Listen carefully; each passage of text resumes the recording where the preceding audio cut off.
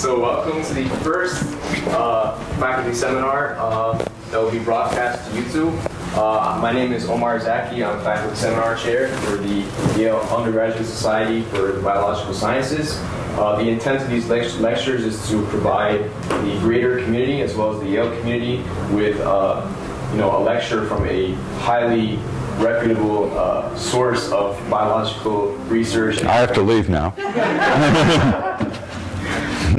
and so the first person we have speaking in, uh, for this series of lectures is uh, Don Engelman. And uh, Don Engelman, uh, Professor Engelman is a uh, professor here in molecular uh, biophysics and biochemistry. It's a mouthful, MBMB. Um, that's also what where my own department is for my bachelor's degree.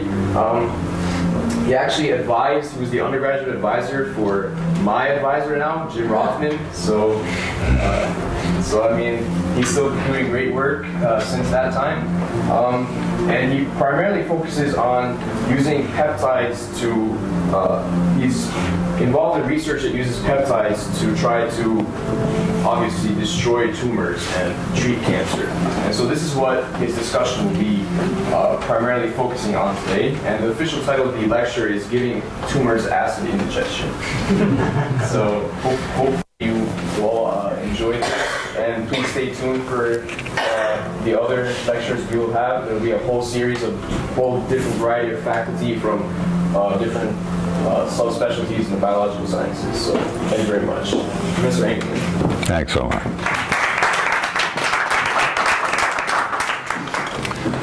So, how many of you pay taxes?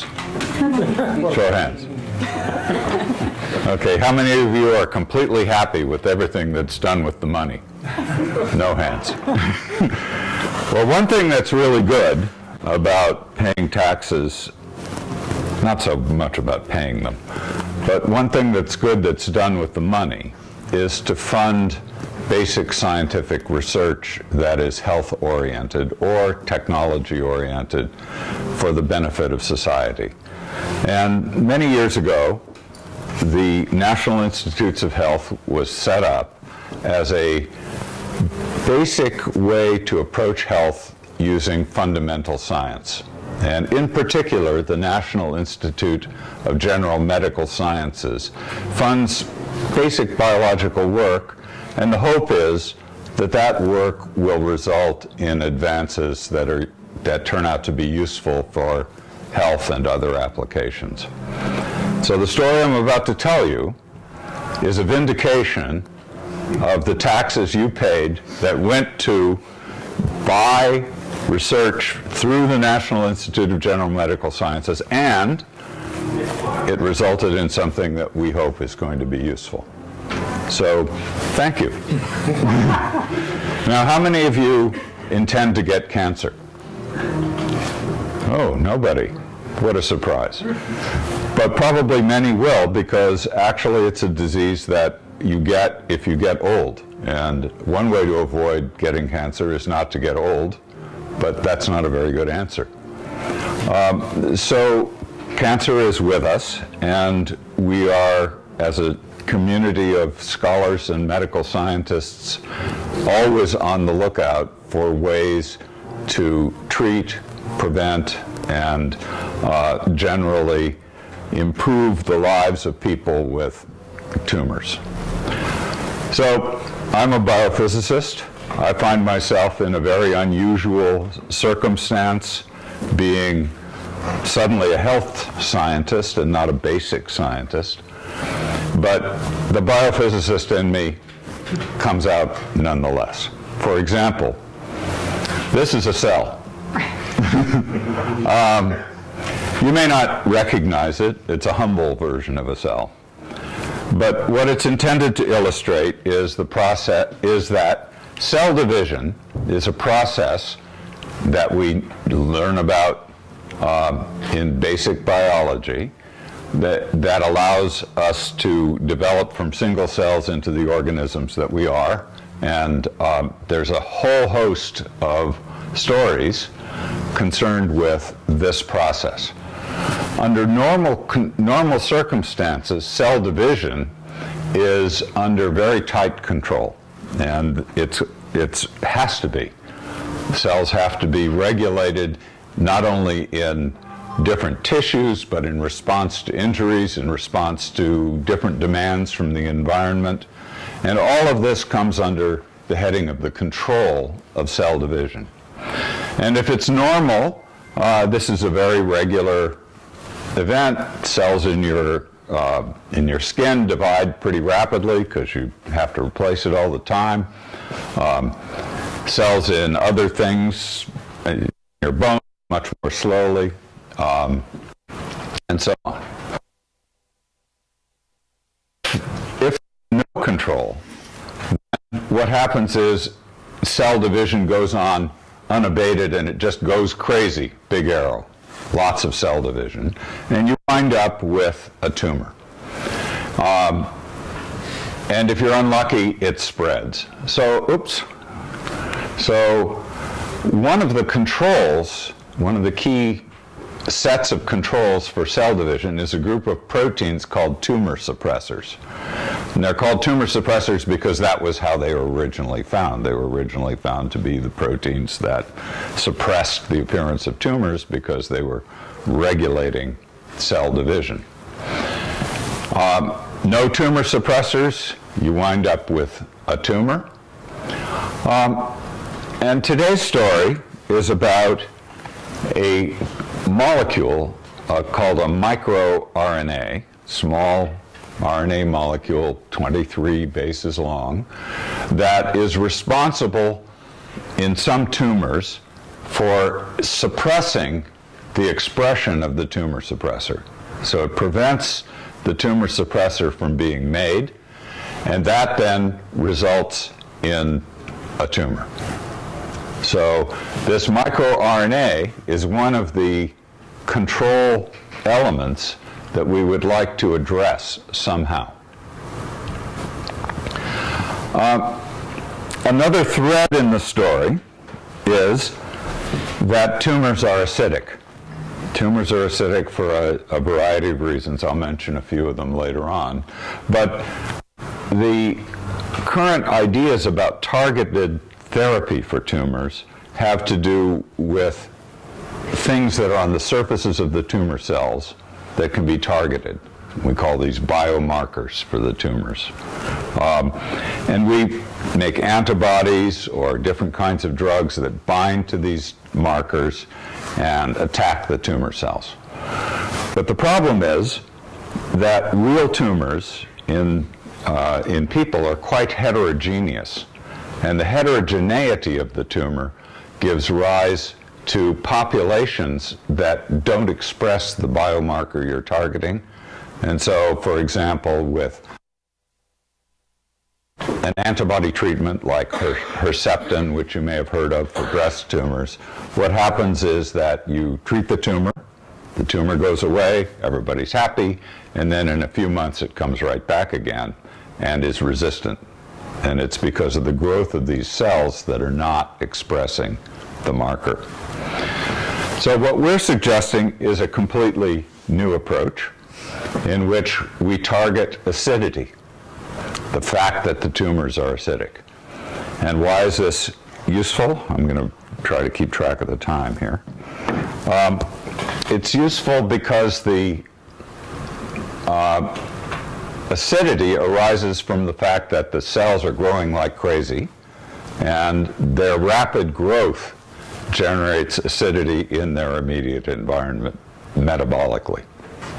So what happens? Well, if you have cells that are not acidic, they're not growing and they're not tumors. So acidity as a target is a very interesting thing to think about. It's been known for decades, but there's been no way to do it. So what we have is we have a tumor cell it's got a microRNA in it that's causing the uncontrolled growth. Um, and it's acid. And it secretes acid into the environment. And what, we have a way to create a missile. Uh, and that missile seeks out the acidity. I'm so proud of this. See, see that? We'll see it again. Here we go. Seeks out the acidity. um, and um, it releases a warhead that goes and hits the microRNA. Doesn't actually explode it. Um, and then, um, and, and so that is the basis of what I'm going to tell you about today. So we have cell division, we have a microRNA, we want to knock out the microRNA, and if we knock out the microRNA, the tumor suppressor is expressed.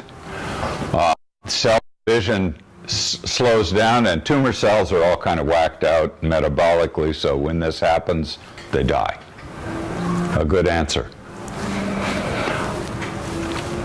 So, going deeper level, a membrane, a biological membrane, we'll talk some more about it, is represented here by the main structure it, it, that builds it. It's called a lipid bilayer. So it's two layers of lipid molecules that make this very thin liquid-like sheet that makes the boundary layer of cells. And we have a peptide that we call pHLIP, um, talk more about that too, that is the missile.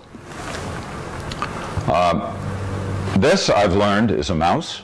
Uh, never had to think about anything that I could see in my research before, but here we are. Uh, I've learned a lot about it. This is the front end of the mouse, this is the back end. This particular mouse has a tumor, and, and if we make, if we put a fluorescent label on this, um, on this missile, what we find is that it goes around and finds the tumor. So this is one of the original observations that led to the, the work that we're doing now. Nuanced view of a cell. And it's got a lot of membranes in it all over the place. And the, but the main one that we're concerned about is the outside membrane, the plasma membrane that separates the cell from its environment. So if you're going to give a treatment, it's got to be able to find it, what it sees is the outside of the cell and the environment. So what we want to do is find the, the cell by the acidity and, and poke into uh, and across this membrane, this very thin uh, liquid barrier that uh, I spent a lot of years studying. So um, uh, we know a lot more about it now. Uh, it's basically simple. As I say, it's got these two lipid layers, and this inside part here is very greasy.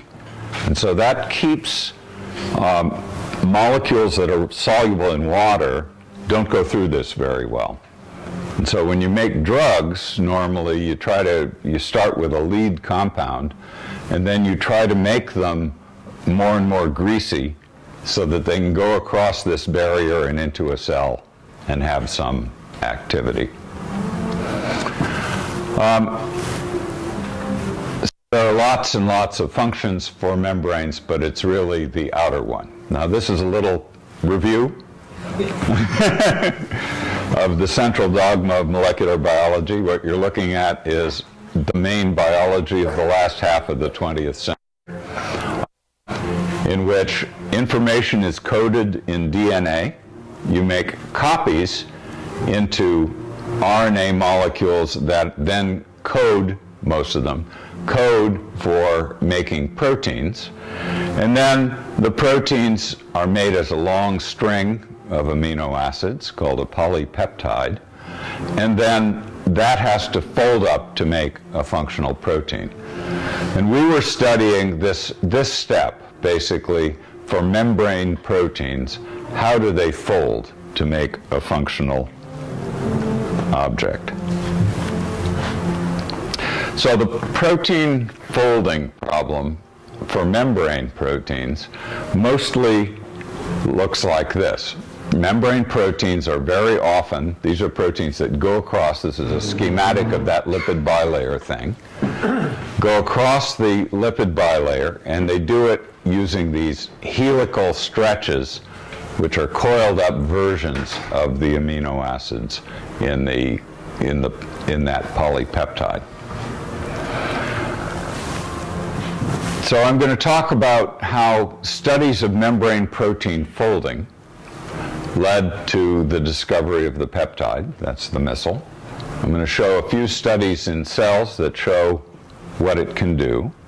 And then I'm going to show targeting and delivery of an anti-tumor agent to treat a cancer in a mouse. So first, my colleagues and I had a lot of ideas about how protein folding might work in membranes. And the simplest version of it is that you make these helices first. There are a bunch of arguments about this. But the idea was that these individual pieces, the helices that bundle up to make that membrane protein, are individually formed and stable. So they're stable one at a time. And then in a membrane, they interact to make the functional protein. And then it turns out there are a lot more steps. But this, this is the initial beginning of membrane protein folding, and it still is, I, I think, the main way that people think about it. So if you were studying this, what would you do? Well, we spent a lot of time studying how helices interact with each other. And we found out a bunch of stuff. Um, and we published a lot of papers, and we got a lot of your tax money.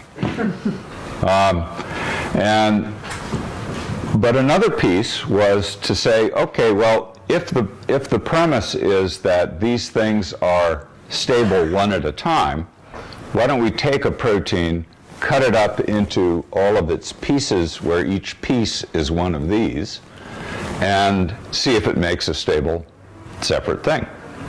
That's a prediction of the of the idea. So here's a schematic. This is the lipid that's going to make the membrane. This is the protein, the peptide. We mix these things together with magic potions and things, and lo and behold, we make a membrane and we study it, and there's a transmembrane helix, and we say, great, and move on to the next one.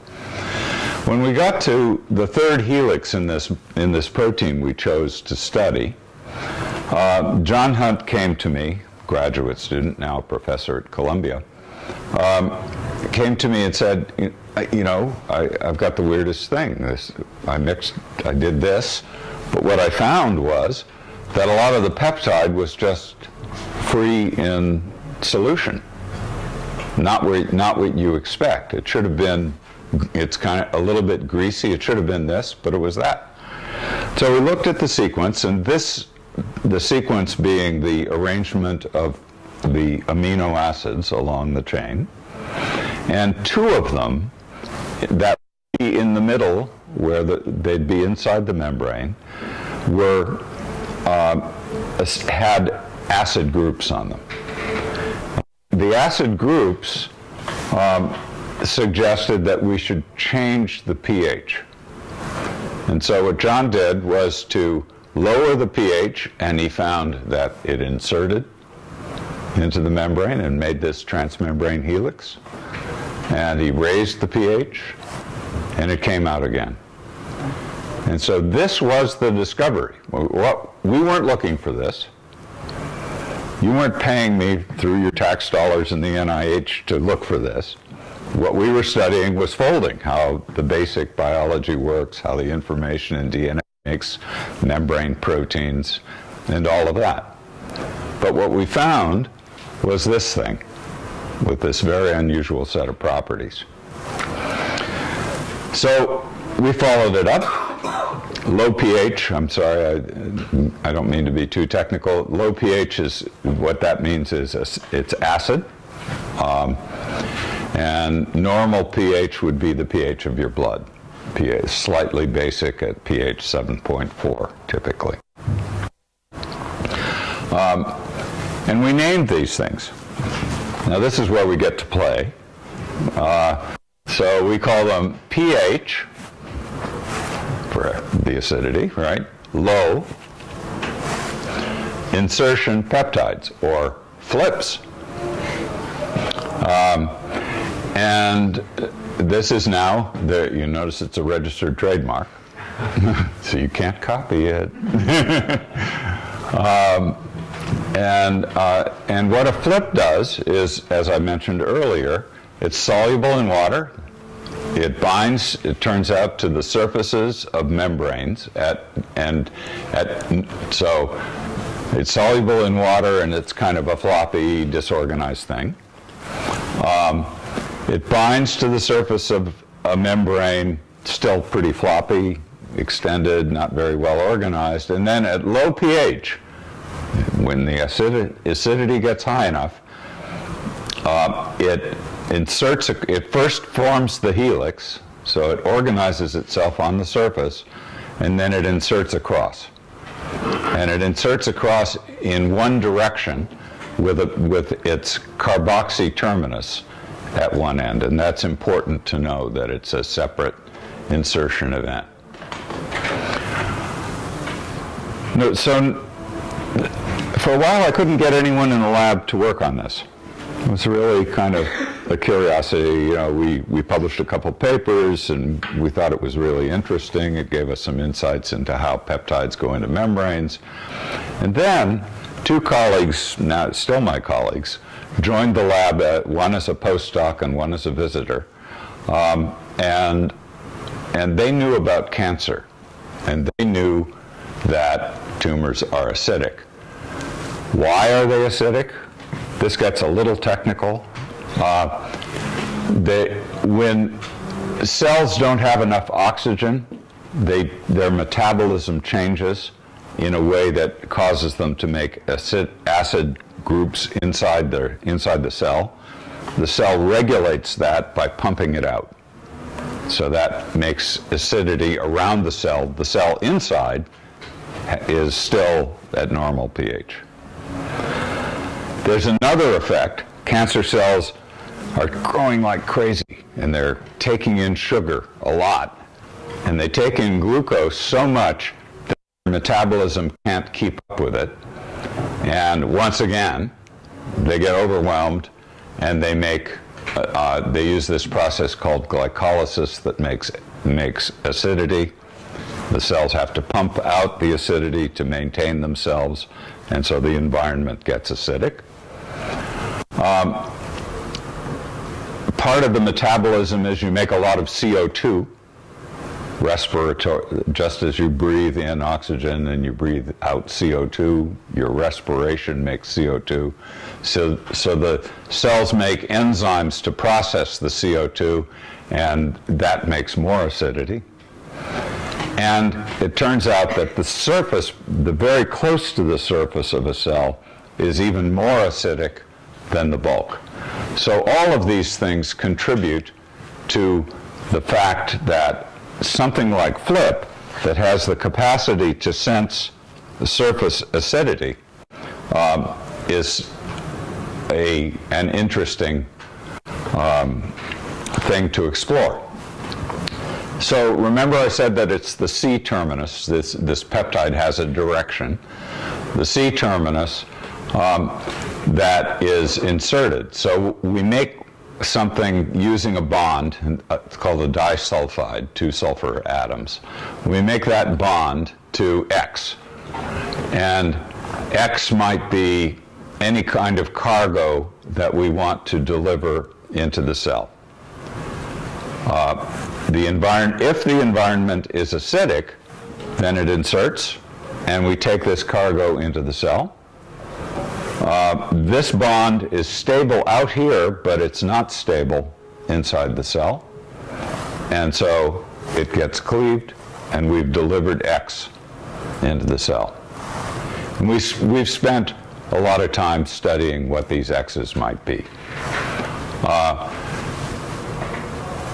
what we know is that relatively large, compared with drugs, relatively water soluble compared with drugs, uh, cargoes can be delivered. And so it then begs the question, well, what can we deliver? And so now we're down to the warheads. So the pHLIP is the missile, senses the acidity, inserts across that membrane into the cell in one direction. And uh, we have we have some activity to deliver approved drugs. There's a kind of tricky tricky business there because they go in on their own. So you're really using the pHLIP in that case to prevent them from going in where you don't want them. So this is a way to improve drugs so that you reduce side effects. Um, toxins, molecules that we could deliver that would just kill the cell, dead. Um, and not, the one that we're most interested in are these non-drug-like active molecules. And I'm going to tell you about one, but there are lots. Pharmaceutical companies have tons of these uh, that they have found over the years. It's all secrets.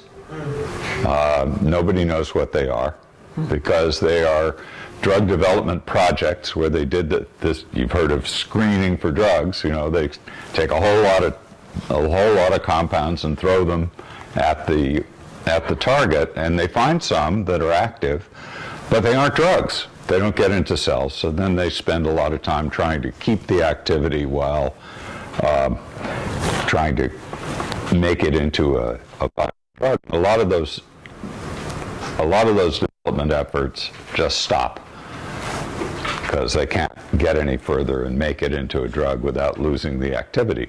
But they've got all those other compounds. What if we could deliver those?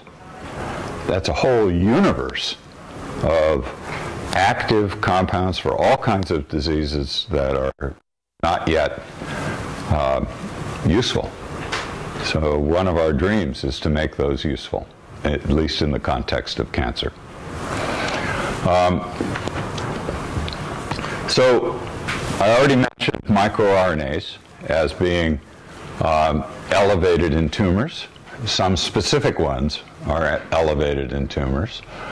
Um, microRNA 155, so we call these oncomirs for the microRNAs that cause tumor, that are oncogenic or tumor causing.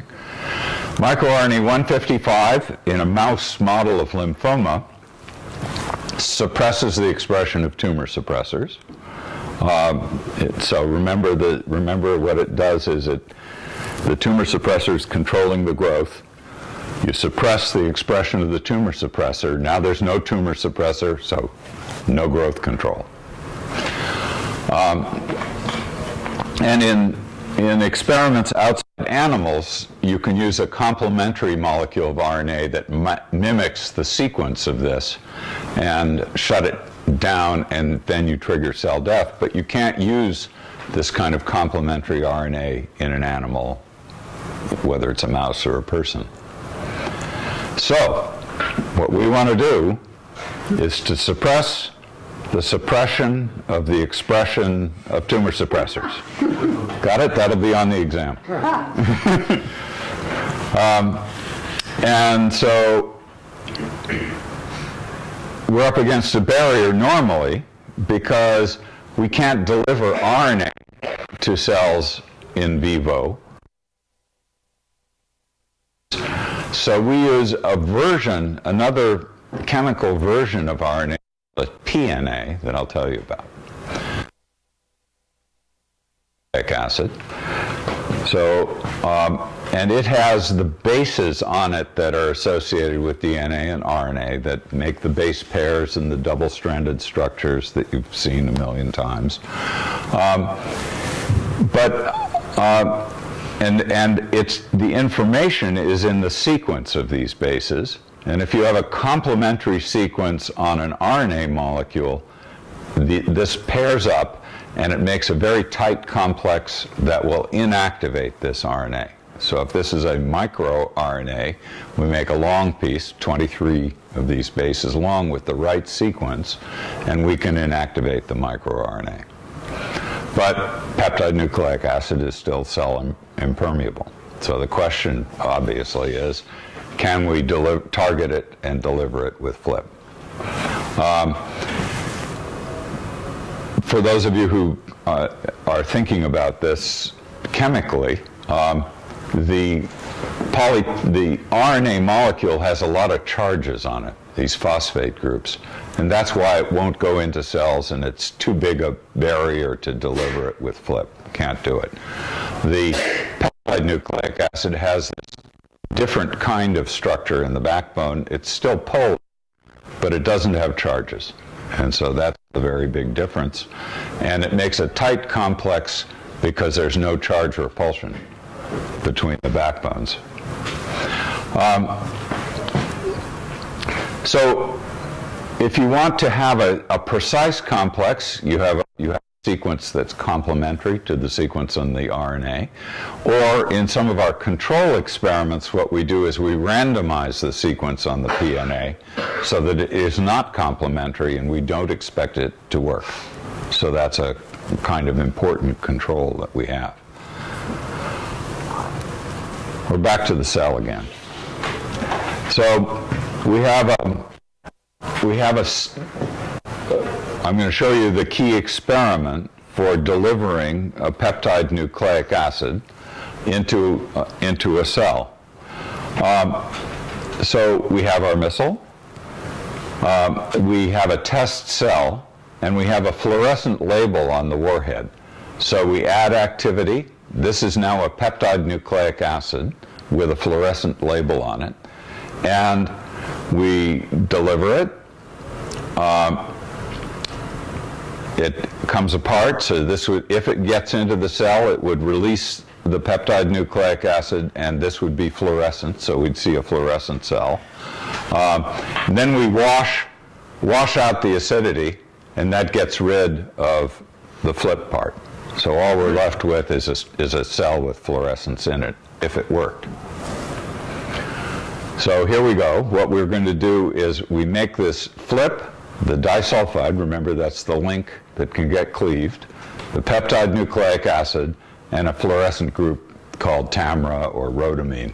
And we bind it to cells at pH 7.4, where we don't expect it to insert. And then we wash it, and we expect it to just get washed off. If we bind it to cells at pH 6.2, we expect it to insert. The disulfide gets cleaved, leaves this piece behind, and we wash out the flip. What this actually looks like is shown here. So here are cells that have been incubated at pH 7.4 and washed at pH with this flip construct, this thing, um, and washed at pH 7.4. Not much there. In fact, you have to trust me that there's anything there. If instead we incubate at pH 6.5 and wash at pH 7.4, now there's fluorescence inside the cells, and that tells us that we were able to deliver the peptide nucleic acid. So this is the proof that this whole thing works. We have a missile targeted by acidity, it inserts across the membrane, it delivers a peptide nucleic acid that's going to be complementary to the microRNA, and we hope will shut down the expression, shut down the suppression of the expression of tumor suppressors. I have to, have to practice that. Um, and, and, and here it is. We're going to, we find that um, really we can deliver pretty undrug-like things, including these peptide nucleic acids. So we've, we've looked at a lot of different agents like this. So now we're going to the final, the final piece here. Um, we often use mouse models. I say we as if I do this, I don't do this. Uh, uh, my colleagues do this um, to study delivery of an anti-tumor agent.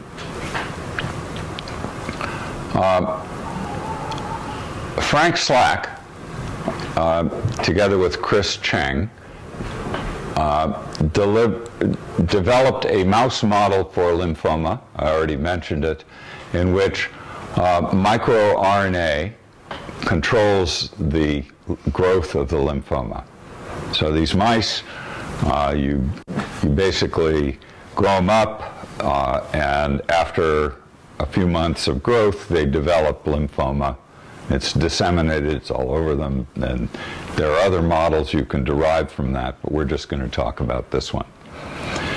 And very cleverly, they put in a switch. And the switch is controlled by an antibiotic. So if you add the antibiotic, you shut down this microRNA. You can just feed the mouse the antibiotic, and um, it gets, in this case, it's doxycycline. Doesn't have to, anything to do with the fact that it's an antibiotic. Um, it's just used to throw this switch.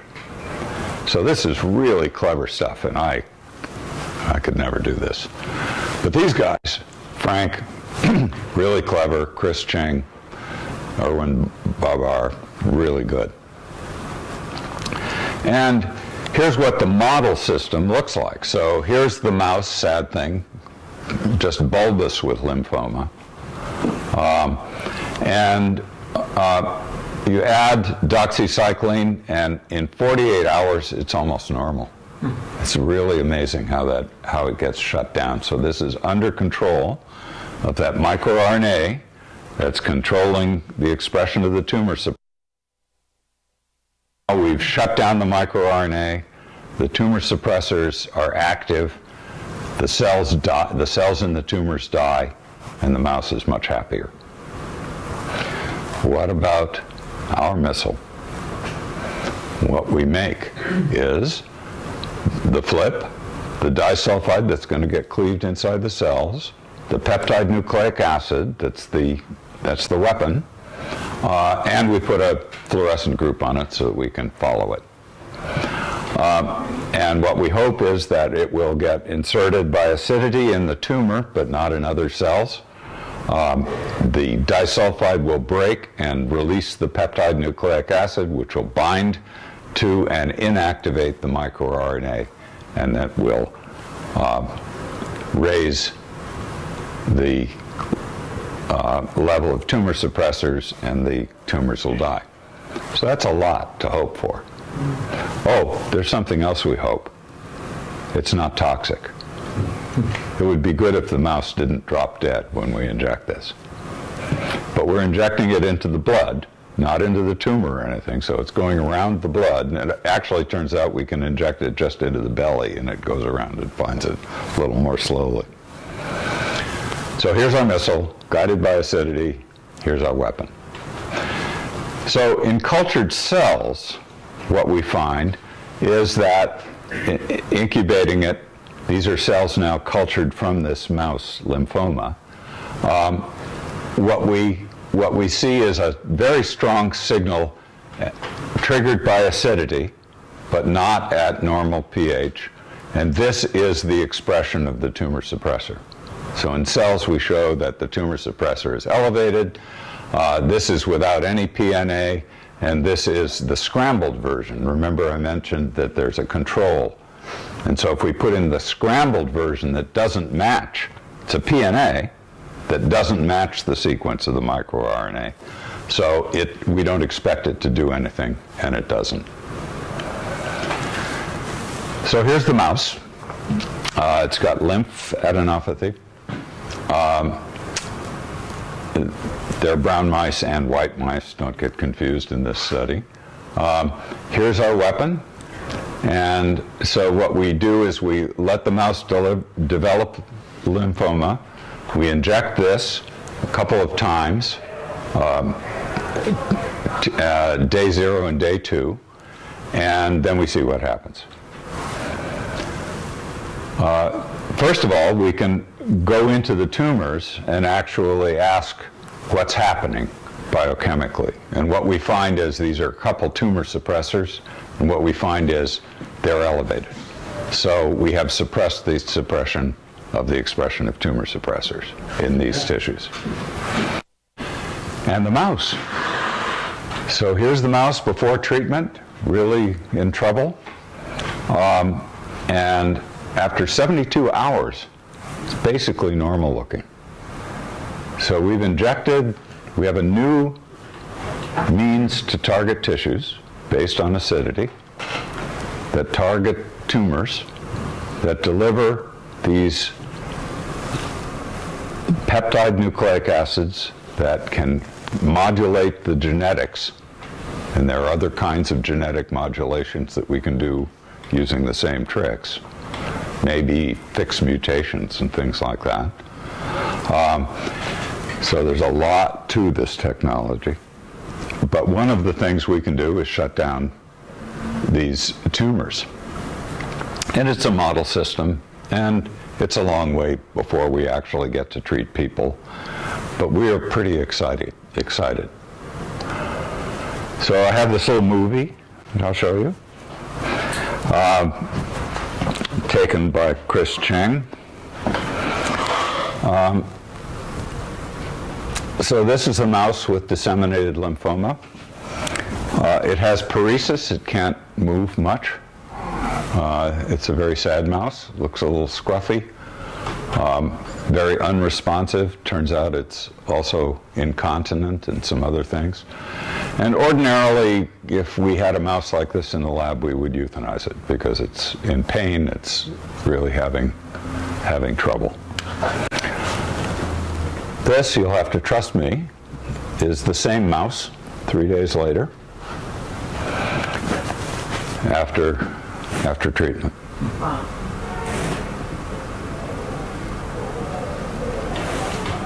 Which mouse would you rather be?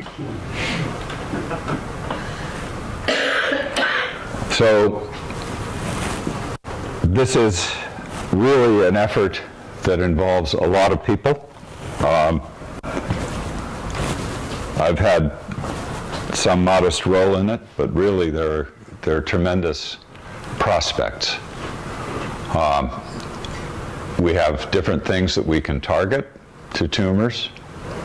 I'm particularly excited by this one that we mentioned before, the things that are, this is a whole new pharmacology. Um, our, our immediate applications are probably going to be imaging applications where we assist surgeons in knowing where the tumor is to take it out. Um, there are other tumors, and we're working on metastatic melanoma in another line of work, um, and targeted drug delivery. And we're starting a company because the only way you can really bring something into medical practice and raise enough money to do this is to have a company. So we are now a company, Flip Inc. I know. we can't help ourselves. Um, uh, a bit whimsical, but it's a serious company. Uh, the origins of the work were with the colleagues I mentioned, Andreev and Reshetniak, who, who now are at the University of Rhode Island, and we continue to work together. Hunt was the graduate student who was part of the original discovery. Um, the work that uh, has just appeared, actually, it took until 2015 to get out in print. Um, it's in Nature, February 5th issue. Um, so just out. And uh, these are the authors. Um, I, I, mentioned particularly Frank Slack, really very important figure in this, and, uh, and Chris Chang, who's the first author of this paper. Um, and thanks particularly to all of you for your money. Are we venture capitalists? Yeah, you could say that. Un, unwitting, unwilling perhaps even. Um, but it's your tax money that funds basic research that every once in a while, if we're really lucky, turns up something new. And I feel so charged and lucky to be part of that kind of process.